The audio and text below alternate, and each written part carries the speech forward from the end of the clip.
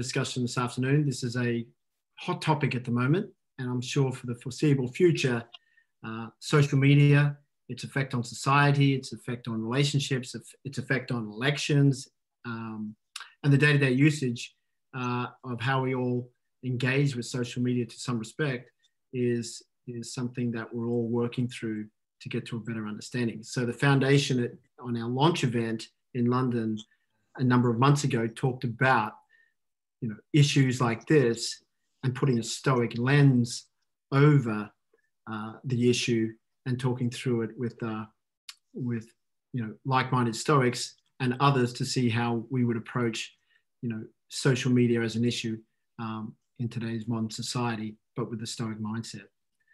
So again reminding us where we're trying to position our our voice in the stoic world and i would congratulate the organizers organizers of Stoicon recently it was a fantastic event and the amount of stoic energy and contributions from all over the world were, were really interesting very compelling and a wider audience that keeps coming towards stoicism in a very proactive way our focus is to participate in that world but also to bring the youth voice into the conversation. So once again, we're really pleased to have Laurie with us, who uh, we met recently as a foundation uh, on, on the most recent event that we had, the webinar. And we're delighted that she's joined us again today, and also Ross. And you can see some of their backgrounds, and um, we covered this last time, but we're delighted to have Ross and Laurie with us again today. In addition, uh, my great friend John Sellars and partner who's joining us uh, as always, and John will be weighing in with various commentary throughout and bringing his expertise and academic lens and um, thoughtfulness around Stoicism to the conversation that we're having today. So let's begin. We're talking about social platforms, how they affect us, the interaction amongst people, or in interaction in business, interaction with governments and, and, and affirmations and first impressions. So let's begin the conversation. Ross is going to kick us off here with some initial comments around uh, beginning the conversation. So Ross, over to you, please. Yeah, thank you very much, Justin. Um, I think um, social media is a is a very interesting topic to talk about, particularly um, from someone young like myself, um, because I think the relationship that many of us sort of build with um, with social media is fraught with many challenges that perhaps we don't always really take account of. Um, and one of them, as you can see there, is this this dynamic between external and internal affirmation. That, in other words, I think one of the challenges that many young people face is that sort of when you're unsure of yourself and you're looking to sort of find your place in, in an increasingly strange world, um, that we look for affirmation through um, external sources um, which can be quite difficult in something like social media because obviously if we post something and no one likes it, um, that can be quite a difficult position to be in if that's where we've placed our source of affirmation. So I think this this stoic idea of really sort of being guided from within, from within your sort of character and by virtue, um, I think is really, really valuable because that helps us navigate this increasingly sort of challenging space into which many young people might otherwise sort of be drawn towards thinking maybe that if no one sort of likes their status, they don't get many reacts from it, then then maybe somehow that they're not sort of worth it, as it were, and that can sort of result in many serious mental health issues as well. So I think having that sort of stoic framework to guide young people to really think from within when they're using social media, um, rather than about what other people might think of what they post, is is really really valuable. Ross, just before we get going uh, any further, I was wondering if you could share with us what you do on social media. And I'm also going to ask uh, Laurie and John as well, because I think it'd be good um, from a uh, transparency standpoint for people listening to the webinar, but also from a standpoint of generational um, engagement as well. So that affirmation and building that stoic uh, fortitude, if you will, that you're referencing there, Ross. But we'll we'll pick that up in a second. But Ross, tell me, share if you don't mind the the platforms that you engage in. Yeah, absolutely. So predominantly, I used um, Facebook and LinkedIn. Um, I used to use Twitter a little bit more, but um, as sort of the more I've used it, the more I realized that actually it was having a bit of a negative effect on me. So I thought the best decision was to completely remove it from from my life in that way. Um, and still, even with things like Facebook, obviously, um, there's a sort of strained dynamic where I'm constantly thinking, should I really be on this? Is it really worth it? Is it sort of making a valuable contribution to to my life and the way I feel? Um, and it's a constant sort of to and fro between those things. And definitely not just my relationship with social media, but my relationship with my smartphone, I think is much like that too. Very good. Laurie, would you mind sharing the platforms and how you engage with social media? Sure. Um, so I think there are only three main platforms that I um, currently use Instagram, Facebook, and LinkedIn uh, to various degrees. Um, and I think I get various things out of all of them. Um, I, I, think I try to uh, have a balanced kind of approach and usage. Doesn't always work, uh, if I'm being honest. So I think that's something that um, given our topic is really important to kind of think about um, you know first impressions that um, there's the sense that you may get i think um, that it's imperative to, to be active to be seen um, and i think it can be conducive to, to a false impression of, of that um, being uh, on social media excessively so i try to kind of um, have that in the back of my uh, mind when i do engage very good, thank you.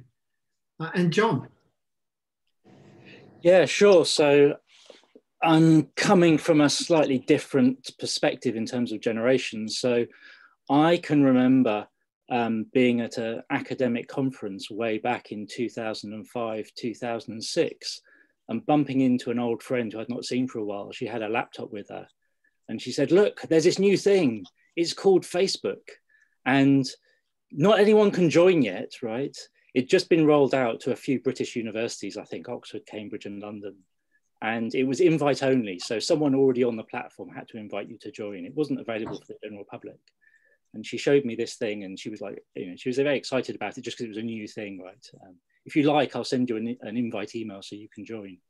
Um, and it was literally just a Facebook. It was just a list of photographs with a list of names. And my immediate thought was, what's the point of that? So didn't pay much attention then. A couple of years later, about 2008, I would say, um, uh, when it was uh, much more widely used, I, I signed up to Facebook and I used it. And I was on Facebook for, for about three or four months and then I quit. Um, and there were a couple of reasons for that. One was I found it deeply addictive. I really did feel that it was taking a huge amount of my time. And in fact, interestingly, and I'm sure we'll come back to the topic of smartphones later, um, I bought my very first iPhone at the time that I was using Facebook over these three or four months so that I could do Facebook away from my desktop computer on the train going to work or, or whatever, which was kind of a, uh, an indication of just how kind of compelling and, and, and addictive I found it. Um, but I quit, as I say, um, after not very long. And reflecting on it, I, my, my view was that this was a really toxic mixture of narcissism and voyeurism. It was about saying how great your life is, and it was about peering into the recesses of other people's lives. And that just struck me as something deeply psychologically unhealthy to be spending lots of time doing. So that was that is my experience with Facebook. I've not looked at Facebook since 2008, more or less.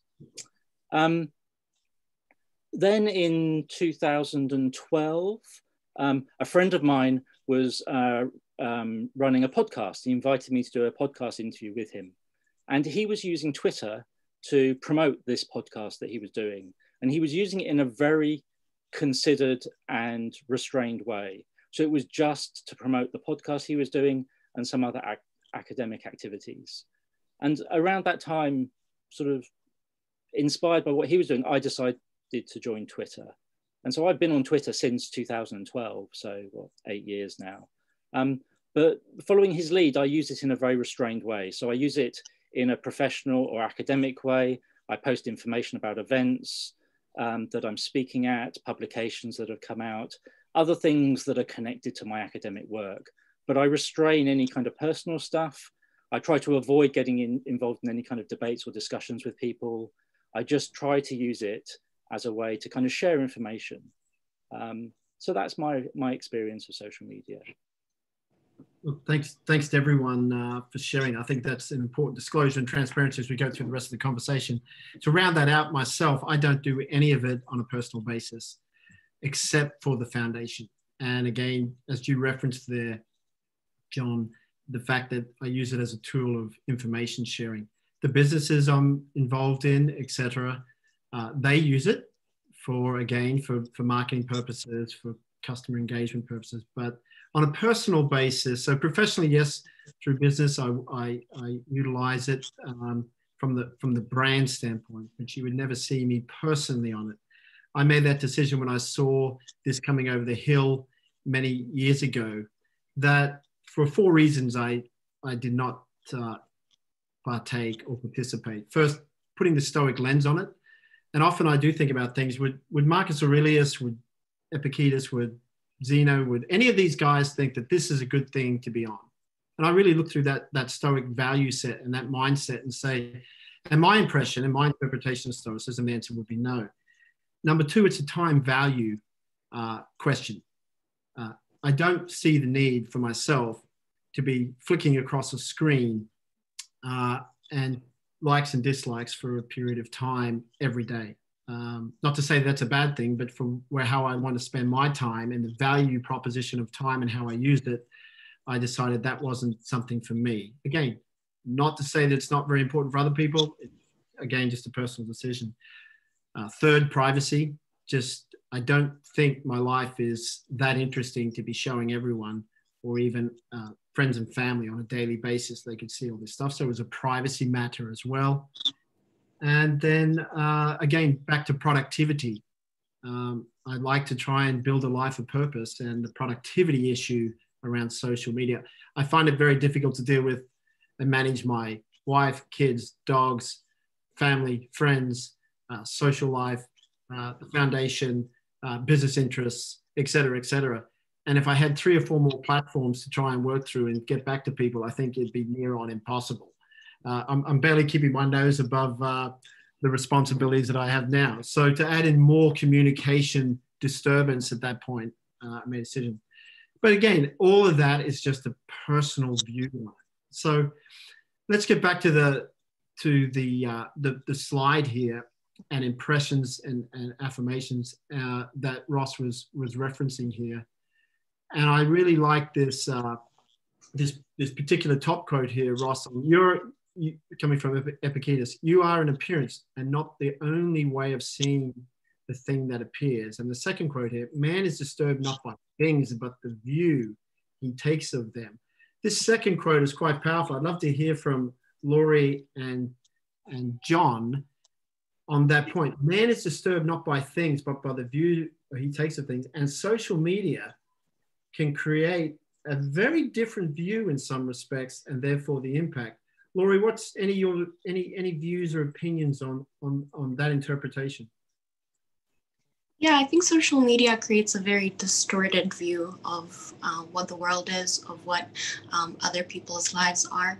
And I think um, it was Seneca who said that we tend to exaggerate, imagine, and um, sort of anticipate sorrows unnecessarily. And I think through social media, we very much um, do that. Um, we can sort of think, look at look at everything that's happening, particularly with Instagram. In my opinion, um, it's um, it covers. Um, it, it, kind of displays a lot of um, ostensibly happy uh, pictures, happy lives, and I don't think it's very um, stoic the way that social media is uh, designed, the way it operates. Um, if you look at, you know, the cardinal virtues, uh, that's for sure. If we look at moderation, um, there is a lot on on social media um, that would um, kind of give an example of um, what you should do um, to be happy. This is what you should buy. Uh, this is where you should go. If, if you're not going on holiday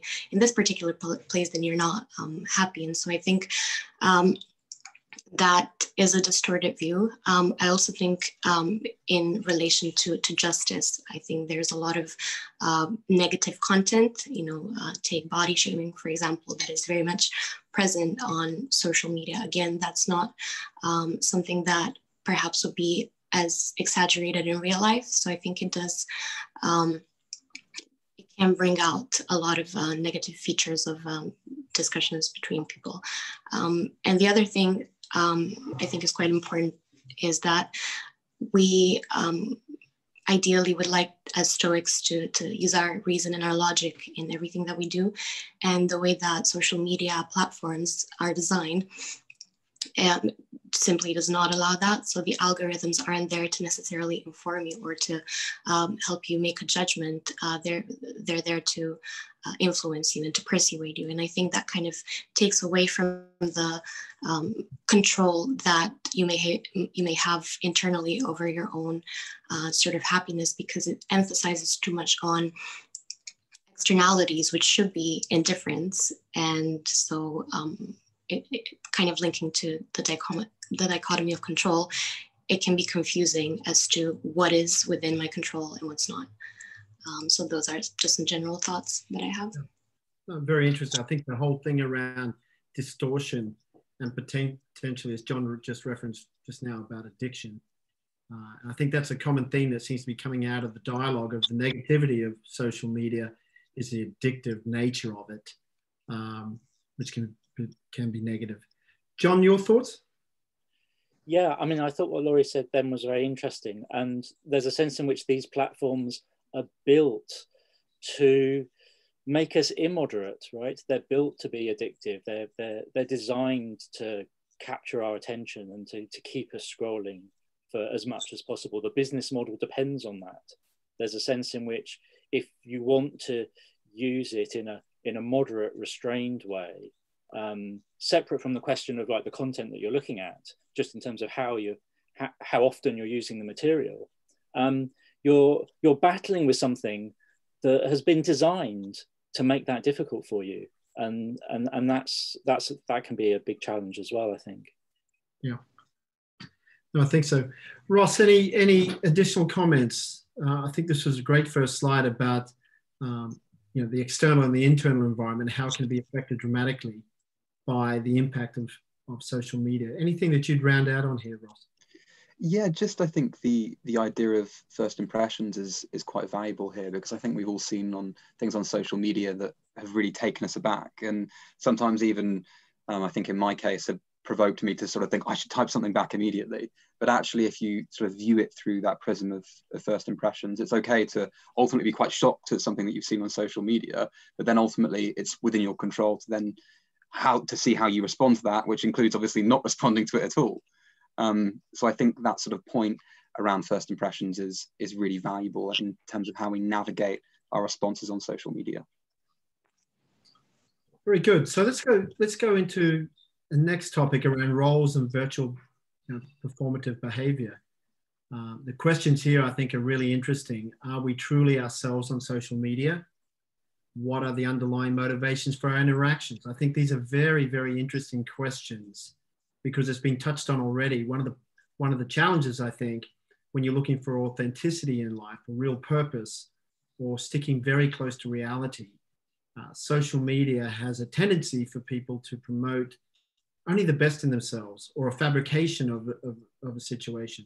I know that sometimes when my wife is is looking through her various social channels. And she'll show me a photo here or an, an example here of, of, something in our in our network or etc and i'm often turned to her and say well i just don't really see that as being the reality of what that person's really about whether it's a positive or negative either way. So ross what how would you lead us off here in this in this in this conversation? I think you're on uh, mute there ross sorry. Me. there you go. I think i think that's better now um, I think, as you've alluded to, I think it's important to be very introspective on social media. Um, because, as I think John mentioned when he was sort of deciding whether to use Facebook, there is, I think, some tendencies on social media to definitely for people with sort of underlying sort of narcissism or um, sort of sanctimony to gravitate towards these things. And I think it's all always really important to be introspective about that in ourselves. So, for example, why are you posting a picture of yourself on social media? Is that going to give people information? Is that going to be valuable to them? Will it make them laugh? Perhaps those might be valuable reasons. But if it's sort of for your own vanity, obviously that's that's something that perhaps isn't. So I think it's very important that when we're posting on social media that we try to make a try to make a valuable contribution um, to our friendship network um, rather than sort of doing things that otherwise are not very virtuous. Yeah, yeah. Laurie, your thoughts here? Yeah, I think the question of whether we are truly ourselves on social media very much links to this idea of virtual performative behavior because I think it is a performance in a sense. Um, you kind of deviate from who you really are and maybe uh, from even uh, what you think is right, what you think is good, um, in, in exchange for performing a role, um, displaying a persona. And I think the reason behind that is because the focus is not on um, yourself or the community around you even though uh, connection with the community is allegedly um, what makes social media useful I think the focus instead is on the audience. So you do the things you do, you post the things you post, uh, so that you get a reaction, so that you get a positive sort of reaction. And um, I think in that sense, um, it's very deceptive to yourself, to, to everyone else, and um, uh, not very conducive to, to inner peace. Um, yeah. I think uh, you bring up a very good point there. And I'm going to ask John to comment here, obviously, in a second. But this particular quote from Seneca, at, uh, and it's referenced in both quotes here, which to be fully transparent again, uh, not only just in the in the medium of social media, but pretty much my whole life, I've always been um, uh, skeptical and nervous of the crowd. So as a society, if we start heading one way, I generally have to check myself. I do check myself immediately because we have a uh, history would dictate and has illustrated over time that we tend to get on big trends and often don't think before those trends. And in the business world, I can name uh, uh, enormous amount of trends in the last uh, 20, 25 years that turned out to be utter total bust. But the crowd and the herd mentality jumped on it quickly, whether it was the, the S&L crisis in the United States in the 90s, which then went into the dot-com crisis in um, in the late 90s, early 2000s, which then um, went into, you know, the, um, um, the mortgage crisis around 2008, where all these things just, you know, take off. And then someone has to wave the flag or they get manipulated with things. So when the herd moves somewhere, I'm always a little bit skeptical. So Seneca's referencing it both here. It must be rescued from the crowd. It is so easy for it to go over to the majority. And I think social media has a, a little bit of a tendency there. John, your thoughts from a Stoic perspective here? Yeah, I I think here it might it's quite interesting to differentiate between different social media platforms and the way in which people use different platforms. So um, I've got a profile on LinkedIn. I don't look at it very often, but I, I um, which I didn't mention earlier. Um, so I know how that works too. I think one of the things that's interesting about about something like LinkedIn, for instance, is people are clearly quite explicitly and openly curating um, a, a, business profile, an online CV, if you like. Um, there's no suggestion that you're getting the whole person. People are clearly not talking all about their personal lives. You're just getting um, a curated professional profile. And because that's so evidently obvious and open, um, it kind of works, right? I mean, it seems to be one of the more effective social media platforms. You know what you're getting, you know what everyone's doing. Um, and that kind of gap between the public presentation and what their real life may or may not be like, that gap is quite obvious uh, in, a, in a good way. Um, the thing, the thing with, with, with Facebook perhaps is there's that sense in which you're get you're supposedly getting um, a presentation of someone's complete life, but of course it is being very carefully curated, and um, certain things are being kept out of the picture, and people will inevitably want to put a positive spin on on things, um, and so then it's not quite so clear cut what the gap is between the um, public presentation and reality, and, and, and that's perhaps more problematic. On Twitter, my experience is people just tend like tend to complain about things. There's lots of moaning that goes on, at least in my feed. Um, and um, whether that's good or bad psychologically for people to have to listen to is another matter. Yeah. I often think back, you know, thank you for those those comments. I often think back to where the visionary who started these businesses, what they were intending at the time, and what the reality of the business model uh, has evolved to now. And you mentioned something about curation there, John. That you know, yes, from a LinkedIn perspective, you know, you know what you're getting. It's a resume online, but it doesn't tell the whole picture. But people are positioning, and in, and the other social platforms. Now we've got extreme situations at the very extreme fringe, of course, in a horrible situation where you're seeing people live streaming the most horrible events, whether it be mass shootings or other just extreme negative, horrible human behavior. And it's it's it's able to be seen by such a wider audience instantaneously as it's playing out. And I think the original founders of these businesses would be horrified, obviously, that this is taking place, but no one would have necessarily thought that through at the beginning, or that you could shift uh, sentiment or be manipulated, or you could shift elections uh, uh, in an unhealthy manner or in an unfair manner. Now, not to say that it hasn't been going on since history began. I mean, you know, the bribery that went on in ancient Rome and, you know, the voting for consuls and everything else was extreme. But now we're, it's so instantaneous and it's so powerful so quickly and in some ways the genie's out of the box. So i think that um, these these behaviors and also the motivations behind them is, is a is a very powerful topic so we we're throwing this question out then uh, as we as we move forward here how do we live in accordance with a digitalized nature uh, from a stoic perspective so, you know, I think this is really, in some ways, the heart of the matter.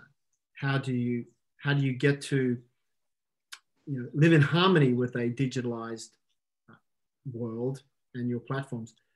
Ross, any any any thoughts here to kick us off again?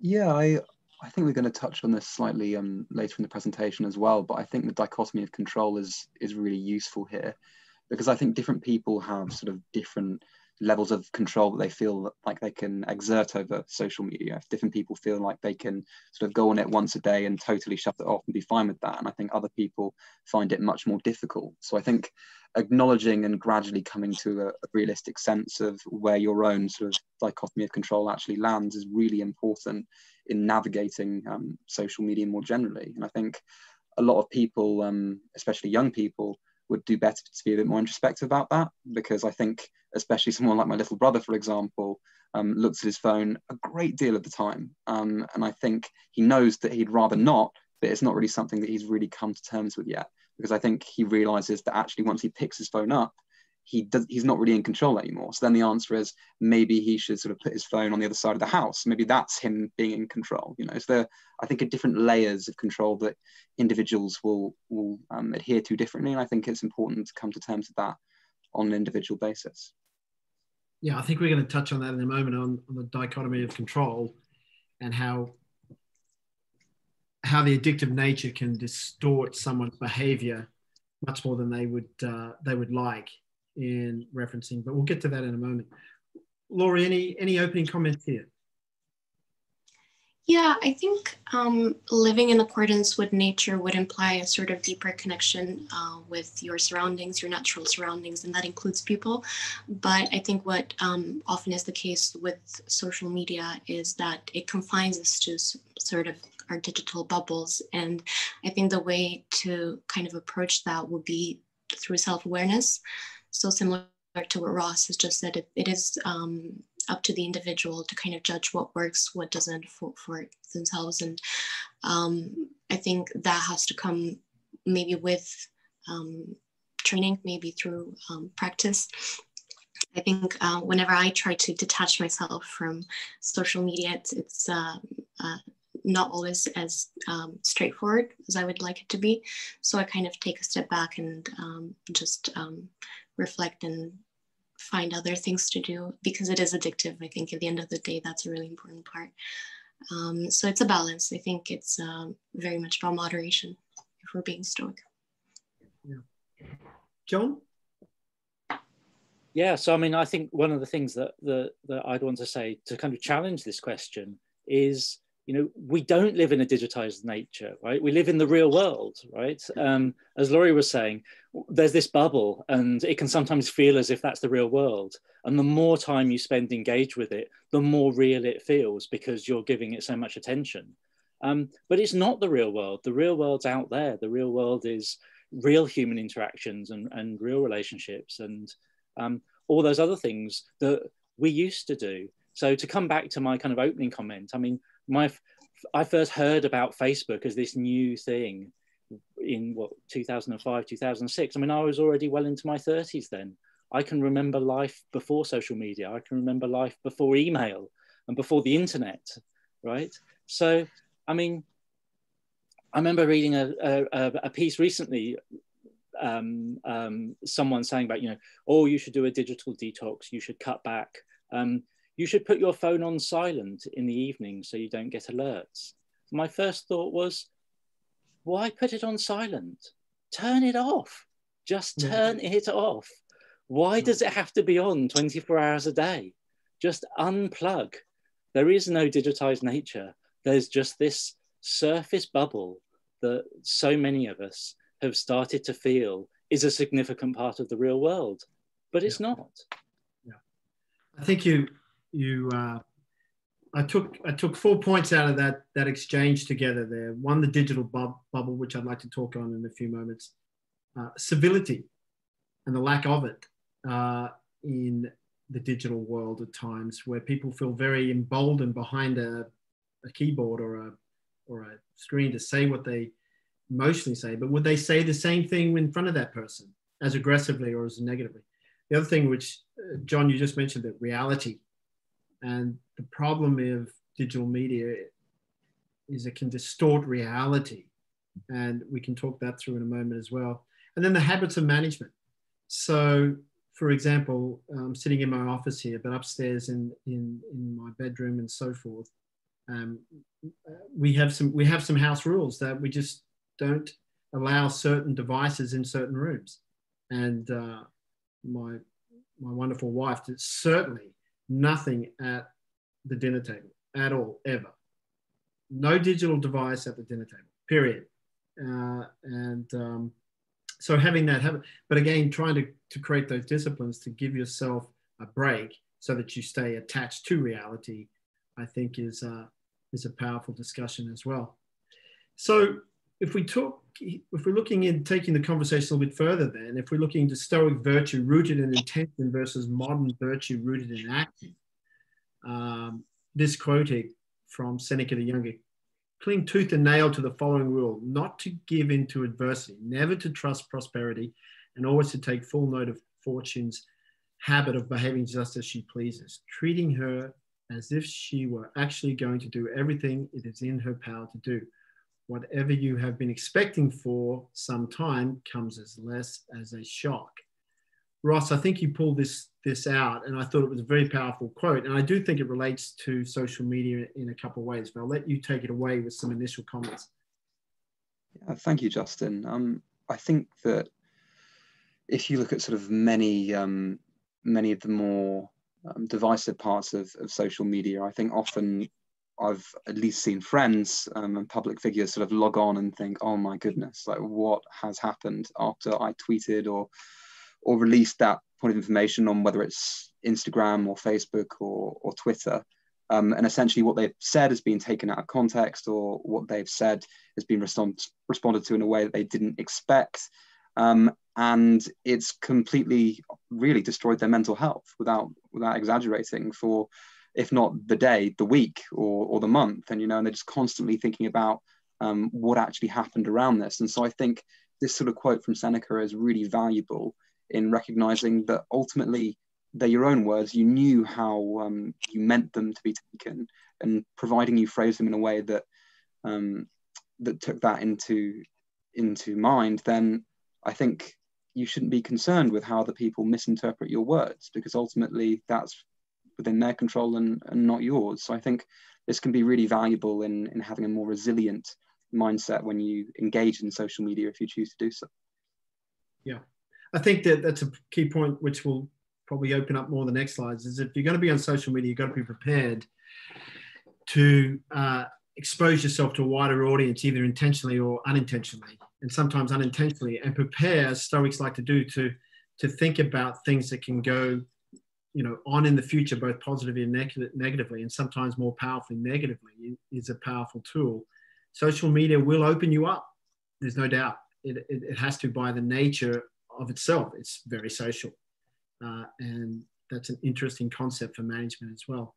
Laurie, your thoughts? Um, just that shock, I think, is something that um, is the intention um, when it comes to social media and why people engage. Uh, and I think if you detach yourself from it, um, you're less likely, less susceptible to the adversity, I suppose, the challenges that come with um, navigating various um, platforms. Yeah, very good. And John? Yeah, I mean, so as you were saying, you you've no idea who's ultimately going to be engaging with you if you're on a, a, um, a public platform and you, um, you, you, you, you don't know who's going to be out there. You're going to meet a, a, potentially a wide variety of people. Some of those people are going to be deliberately obnoxious. Some of those people might be willfully misreading what you're saying some people just might not just just might not get what you intended right there's always that gap between what someone intends and and how it's interpreted and if you're well prepared for the fact that those sorts of misinterpretations could happen and some people might respond in a negative or unpleasant way and and you're prepared for that in advance then it's going to come as less as a shock and um, much less likely to disturb or upset you because you've you've anticipated it. So the, you know the Stoics famously talk about you know um, premeditation on on future evils, and if you reflect on the fact that you know, okay, there could be some unpleasant responses to this, but I'm I'm ready for that. I'm expecting that. That's part of the game, um, and um, so as a consequence, it's not going to disturb me so much because um, I, I was well aware that that might come. Yeah, I think that's a very powerful piece, and often, we've all been there over the over the years or uh, in various experiences where you're sitting, you know, pre-social media or, or, you know, at the same time with the with an email that you're sitting on, and you're very upset. You want to fire it across, and there's 25 people on the on the response, and you fired it, and or you fight it inadvertently, which I've done occasionally, and uh, the repercussions. You know, I did it for the wrong, which we talked about previously, the wrong intentions. I did it because I was angry versus thinking through, calming down, and, and, and thinking about my intention more from a stoic perspective or a better intention standpoint. And I think the, the repercussions around social media and its engagement around addictive behavior is that you'll receive something and you can react very quickly without thinking it through. You're emotive. You saw something, someone said something, you wanted to correct yourself, you wanted to correct them, and you reacted and it caused a cascade of unfortunate um, reaction. Uh, and because it's so fast and instantaneous, it's very difficult to withdraw withdraw that written word uh, so quickly. And can I, Justin, can I just chip in something else on that? Of course, yeah. So the the algorithms the algorithms will push content to you that is most likely to elicit that kind of immediate reaction, right? Um, any content that has um, elicited that kind of immediate reaction from other people will then get pushed up the scale because it's it, it's precisely what the what the platform wants to achieve. So again, the system's working against you. The system's more likely to present you with content that you're more likely to react against, react to quickly and unthinkingly. Um, um, it's designed not to give you the space to reflect and think and, and respond in a slow and measured way, which is what we would want to do if we're trying to act according to Stoic principles. Yeah, no, very good. Moderation detachment. Uh, we've put some quotes here. Uh, Laurie or Ross, how would take this slide forward and how, how you see these interact with with engaging between and I think it really touches on on you know what John mentioned there a little bit around one of the things around social media is temperance and there's a stoic value on temperance and as a key attribute in building a, a, a strong and formidable character is temperance. And unfortunately it's often tested in the social media environment yeah, I, I think um, you're right. Um, you kind of have to be temperate to, to be moderate when it comes to interacting on and with social media because of um, of its nature, because you are bombarded with um, a, a, vast number of um, um, posts that are not moderate. So having to kind of uh, counteract that personally is something to be cultivated. And um, I think that is relevant uh, for the, the, things that you post, but also the amount of time that you spent on uh, this you spend on social media. So it comes from different angles, but I think being moderate um, is the only way that will allow you as a Stoic, at least, to um, kind of um, keep in touch with uh, the rest of the world. I think um, in terms of detachment, that is something that I've reflected on quite a bit. And from a personal perspective, um, kind of in opposition to John's experience, I don't remember a life before social media. I was born with it. And so detachment for me uh, was something that had to be learned. It's something that I'm still learning. So that's something that um, I'm, I'm, happy I'm kind of aware of. Um, I guess the other thing is that as Stoics we kind of read about uh, being indifferent to adversity, um, illness, misfortune. And I think social media kind of takes us in the opposite direction uh, in, in the sense that it kind of um, highlights um, various aspects of, of life um, that should be celebrated and sought after, which are really indifferents. So um, all of those things that should be indifferents, we take them as um, imperatives um, if we are not detaching ourselves um, in that sense.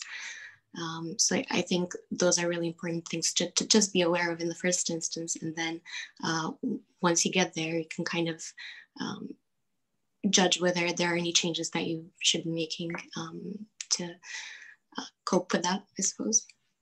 Yeah, no, very good. Ross, your thoughts? Yeah, I think it's um especially with detachment, I think it's very interesting how often on, on social media, one of the difficulties that I think many young people face is that they sort of tie um, their sort of hopeful expectations of how people will react to what they post to their own happiness. Um, and so I think people um, will, for example, look at something they post, they're about to post and think, oh no, will that get likes? Maybe I don't want to post it. Or equally, um, once it is posted and people don't react to it, um, we'll take it away, we'll delete it. I've, I've known many people who have done that. And I think that's quite sad because it's what, it, what it's showing is that ultimately people are posting things um, based on their expectations of how people will react. And if they don't meet those expectations, then they don't think their contribution is valuable. So again, this idea of internal and external affirmation and that looking internally perhaps is a, is a good antidote to some of these anxieties that people have around posting on social media. Yeah, I think you bring something up, and it ties into this quote in the corner here, uh, the bottom left-hand corner with with Marcus, where he says, "If you are pained by external things, it is not that they disturb you, but your own judgment of them." And it is within your power to wipe out that judgment now. And one of the things that comes out continually in John's writings is about judgment and and how the Stoic should approach judgment uh, as an aspiring Stoic and, and how it's viewed. John, your comments on that? Yeah, I mean, just to pick up on what Ross was saying, and this was a topic we touched on earlier, which is to do with the motivation of why someone is choosing to use a platform in the first place. And there are all sorts of very good and, and, and noble and, and sensible reasons why people might want to, to, to use a platform, maybe in a, in a, in a business context or marketing or, um, or you know a very real useful purpose for staying in contact with friends and family in another country for instance. There are all sorts of positive ways in which people can use these platforms. Um, but again to, in particular to pick up on what ross was saying if people find themselves posting stuff just in order to get some kind of response, rather than say to honestly share something that they think is important to them, then then then that's something that we might want to um, we might want to check. Um, and if someone finds himself just trying to post stuff to get a response, then what happens when you don't get a response? Then you might start to post more extreme, more controversial material, anything to try and provoke some kind of reaction just to get noticed. And then that's how the whole system just spirals out of control. So again, I think it's a question of coming back to intention. Why are people doing this? What are they trying to get out of it? And what's the purpose of doing this in the first place? Very good. I think we've got a number of questions and comments coming in, and uh, I've got a comment here from Sonia, who's come into to the conversation, and she says, "Great conversation so far. Thinking about it, social media seems to be the perfect playground to practice stoicism." And I think that's the other side of the coin here, which I think is a brilliant comment from Sonia, is that um, I would say in normal, you know, reality of life and engagement, Stoicism is a very powerful philosophy and a way of living to create purpose, to create empowerment, to create resilience, uh, to create positivity, um, but also, you know, to, to leap into the digital world and see much more behaviors driven in digital communication or posting, etc., by stoic behavior with the things that we've been talking about thus far would improve the environment of social engagement on those platforms, I think, dramatically. Uh, so I think it's a comment uh, well put. We're certainly running through this conversation today very, very strongly, which is great. Uh, it's a, it's a, it's a very, um, it's a very uh, interesting topic, and it's a very valid topic for where we are in society today. Let's move on then to the dichotomy of control. Are we really in control when we use social media?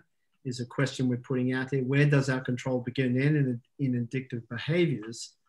And then finally, do we rethink our relationships with our smartphones? I think these are really terrific questions. So, uh, Laurie, would you would you kick us off here?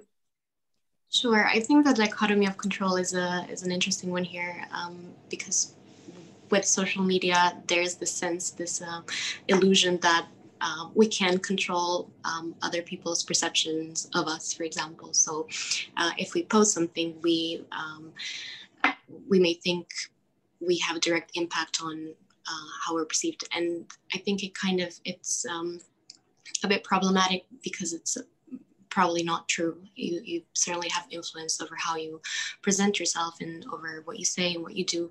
But ultimately, um, there, there's a trap that may come with um, posting on social media in that it probably confers a um, sense of control that is exaggerated.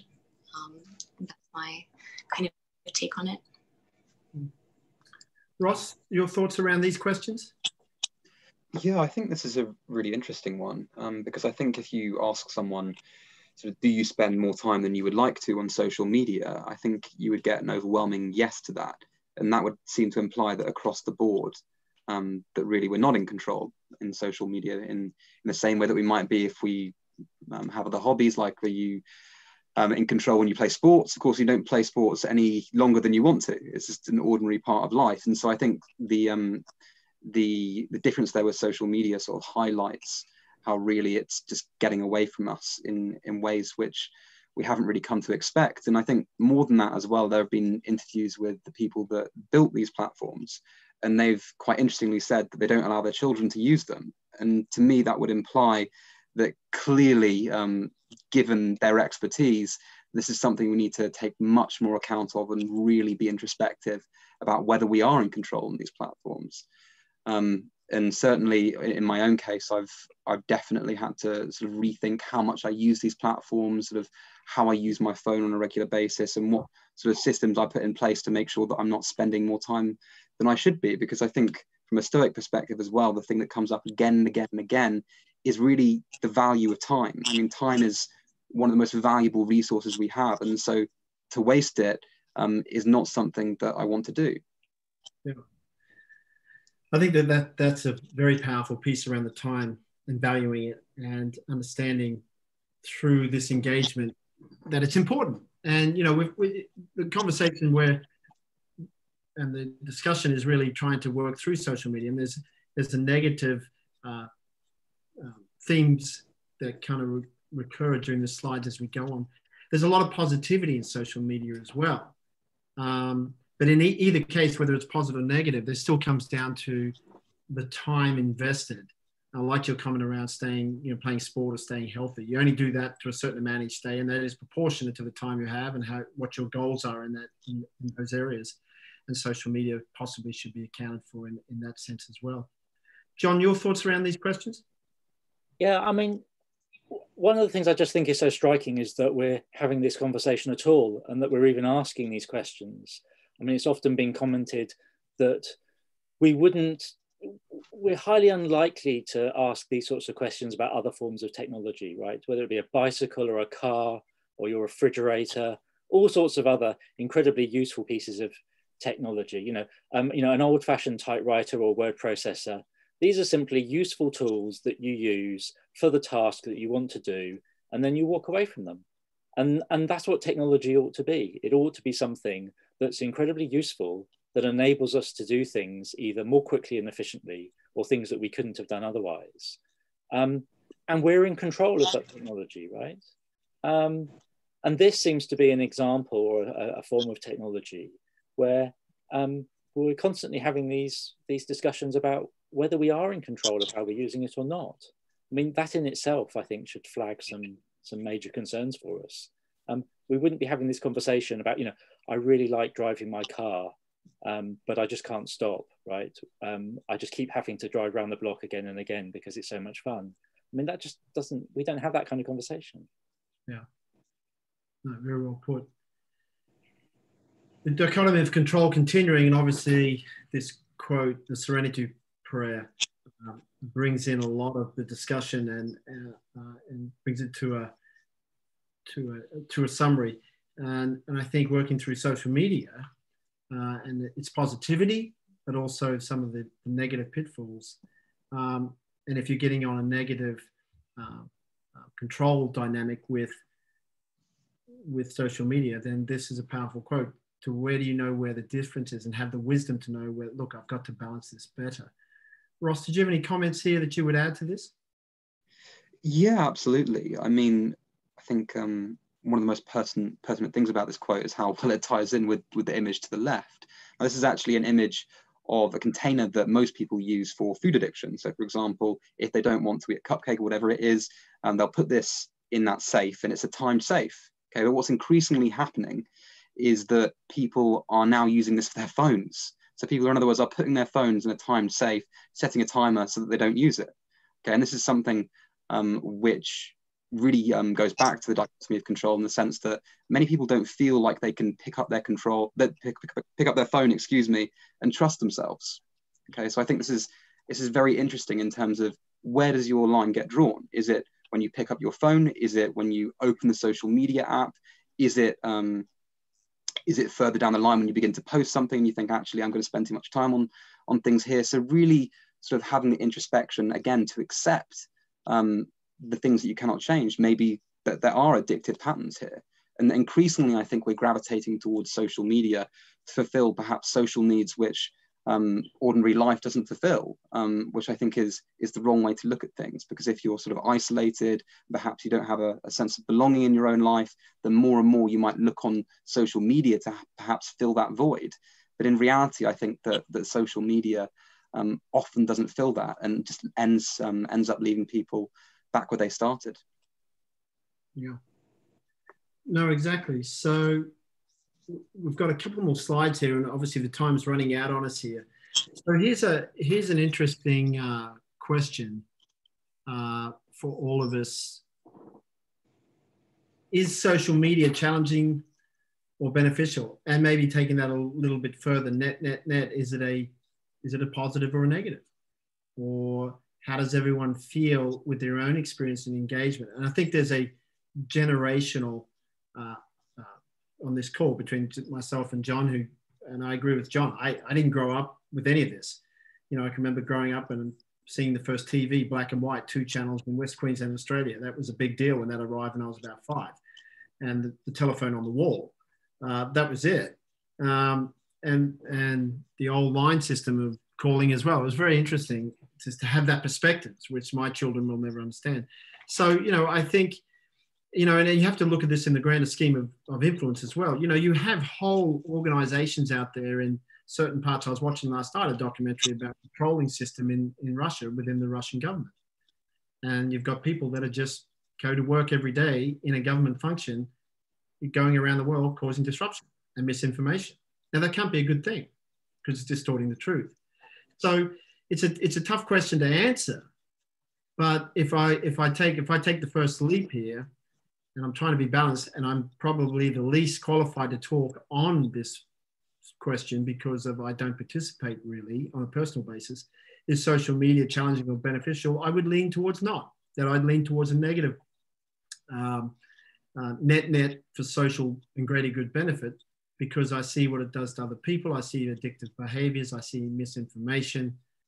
Uh, I see a waste of time that people influence that comes into influence in their lives. So uh, I'll probably be trolled for that comment, but be that as it may, I do see it that way. But uh, Ross, how about you?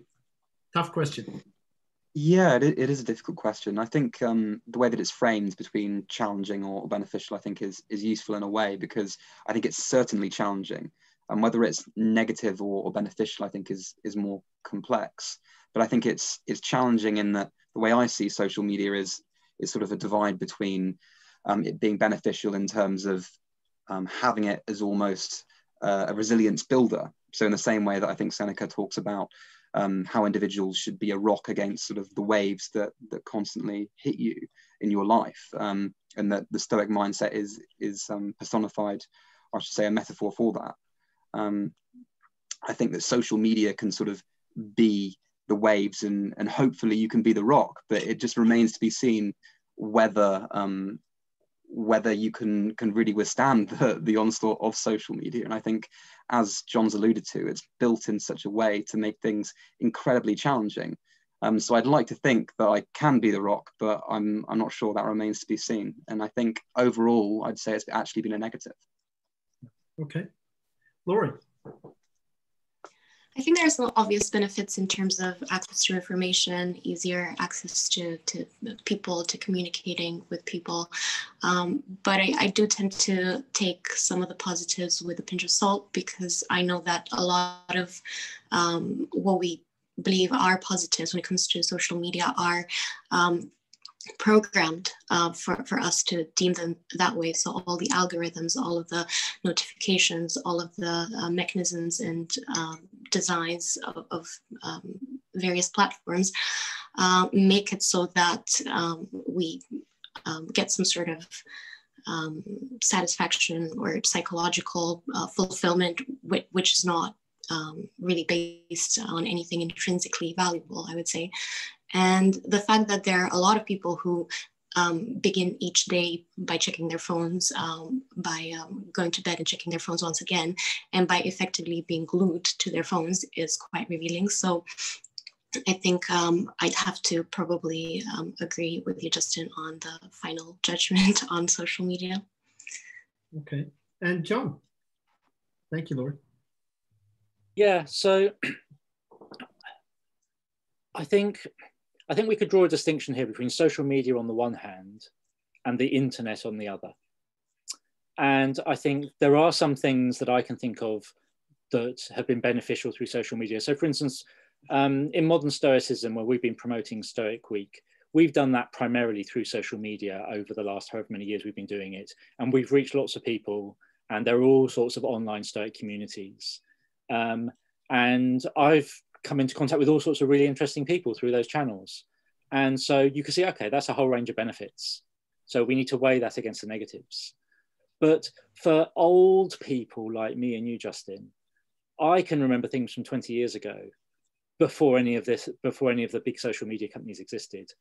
I mean, people used to write blog posts that still existed online. Um, there used to be things called Yahoo groups where people would have email discussion lists and there was indeed a Stoic Yahoo group list back in the late 90s um, where people could still connect and they could still make these online communities. but it wasn't done through the algorithms of social media. And so I think there are some positives that we can take from the, from the internet um, that we could hold on to and we could build online communities, uh, make contact with people around the world without having the more pernicious aspects of social media.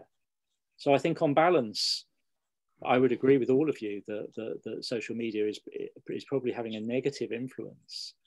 And the things that we might associate with as being positives, we could still hold on to outside of those, those very um, um, restrictive platforms.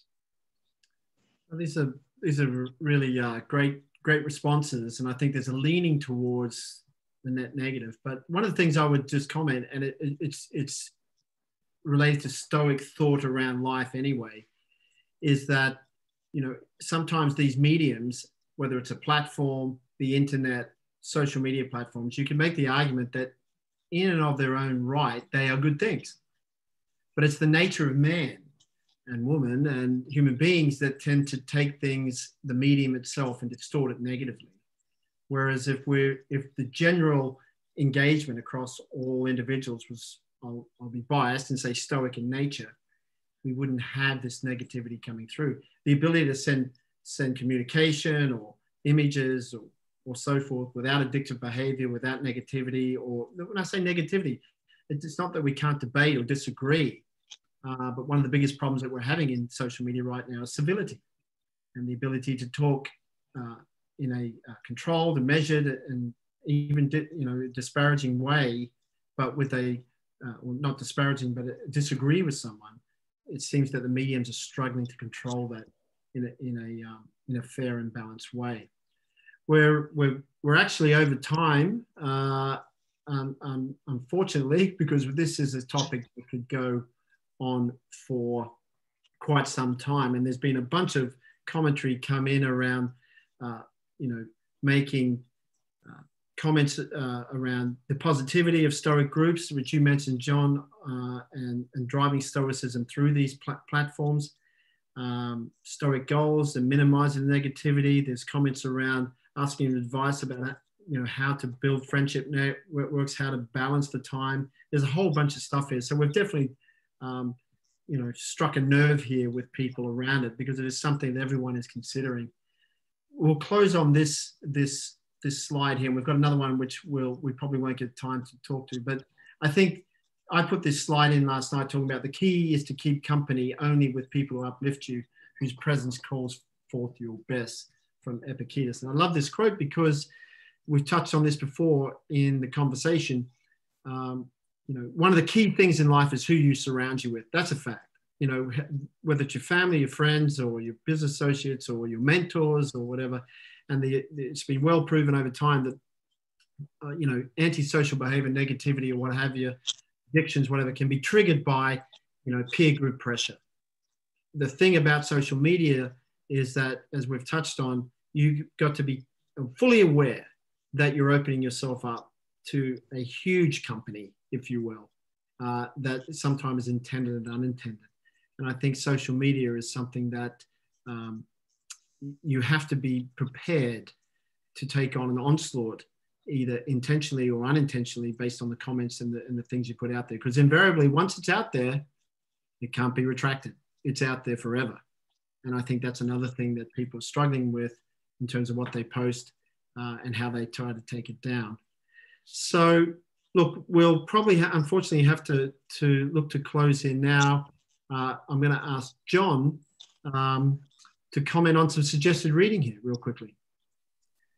Yeah, so here are four books. Um, I've read all these books at different points. Um, I just comment on very quickly. So the first one, The Shallows by Nicholas Carr, is about the way in which we're becoming increasingly distracted um, through social media in particular, but, but, but other things online too, which um, gets in the way of us doing the sort of deep reflective thinking that we all ideally um, um, uh, would benefit from doing. Um, uh, Jaron Lanier's book, 10 Arguments for Deleting Your Social Media Accounts Right Now, does exactly what it says on the tin. A great polemical book from one of the leading figures at the beginnings of the internet age, right? So he's he, he knows what he's talking about, and he talks about civility, politics, the undermining of truth, um, the generation of bad emotions like anger, um, all of these things. Um, Digital Minimalism by Cal Newport, again, interestingly, a professor of computer science. So he knows what he's talking about. Um, and this is a very practical book that outlines a series of ways in which you can just reduce the amount of time that you're spending online and just reconnect to the real to the real world. Um, and then the last book um, by Carissa Véliz just come out the last month or so. Privacy is power, primarily concerned about data, um, but really has lots to say about social media, how the companies are set up and operate, their business models, how they're designed to basically extract as much data as possible out of you, um, focused around that well-known saying, if you're not paying for the product, then you are the product. Hmm. Yes, very good. John, thank you for that. There's some great reading there, uh, which reflects a lot of the conversation we have today. We also, as a group, believe that uh, it'd be very, a lot of people, it's actually being referenced in one of the questions this afternoon or a commentary that I've just received, that it's very worthwhile to read the film, uh, oh, sorry, to see the film, The Social Dilemma. Uh, and some of the comments that Ross made and, and Laurie's points uh, are reflected certainly in this Netflix um, um, show, which I thought was very, very powerful. On that note, I'd like to thank you. Uh, I'd like to thank you again, Ross and Laurie and John, for participating this afternoon. Uh, as always, it's greatly appreciated on behalf of the um, foundation. Uh, a quick just update, very quickly. We've got a webinar with Eve Richards soon, who's a fascinating Stoic lady, which we're looking forward to um, having conversations with her and her journey into Stoicism.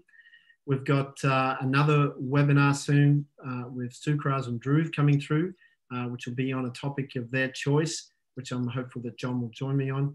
We are still planning towards a 2021 Athens Aurelius Foundation event, which we're keen to start putting some some dates to, but we're obviously subject to the uh, global pandemic and what the world looks like. But that is uh, certainly going to start to take shape soon enough. And then next week, we do have um, very interesting, interesting conversation on Stoicism and elite sport with the 1987 Wimbledon champion, Pat Cash. So you can register for that event at aureliusfoundation.com events and social. Um, and that's it. So, look, thank you again, John, Laurie, and Ross. Thank you, Holly, for the orchestration as always. I apologize. It's my fault. We've got a bunch of questions and commentary coming in. I referenced uh, a number of those, but unfortunately, we didn't get to those questions the way we normally would because we simply were engrossed in conversations. So, without further ado, if there are any further questions or anything, please feel, through, feel uh, free to send them through the foundation. We'll come back to you. And on that note, we'll leave everyone there and thanks everyone for their time again. Have a great weekend.